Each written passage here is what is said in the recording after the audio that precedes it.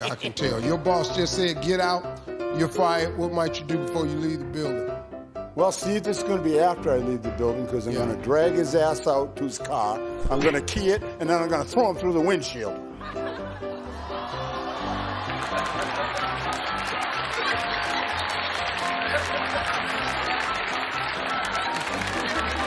Drag him out of the building, throw him through the windshield, busted, and if the cuts don't hurt him bad enough, I'm climbing in and stomp. All of that.